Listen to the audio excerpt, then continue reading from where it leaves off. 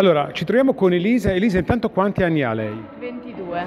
22. 22 anni, sì. Eh, è la prima volta che viene alla Scala? No, eh, sono venuta 5 anni fa perché io sono di Torino, quindi vado Non è a Reggio. una frequentazione. Esatto. Eh, dopo una presentazione come questa, fatta dal professore, che emozione si prova nell'andare a vedere eh, uno spettacolo dopo averne compreso la sua essenza da un punto di vista musicale, da un punto di vista anche, diciamo così, della passione, dell'emozione? Sicuramente la si apprezza di più perché si capisce meglio la vicenda, la trama, capisci anche cosa aspettarti, ecco.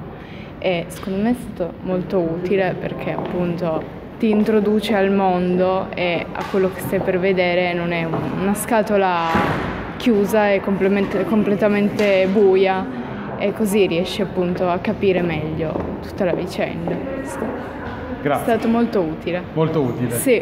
Lo rifaresti? Sì, sicuramente, cioè io lo consiglio anche proprio come attività, perché appunto da 22enne non è che sia super, cioè, c'è chi ha la passione per il teatro, quindi è super informato, sogna opera, però io questo esempio non la conoscevo, quindi per me è stato utilissimo. Grazie.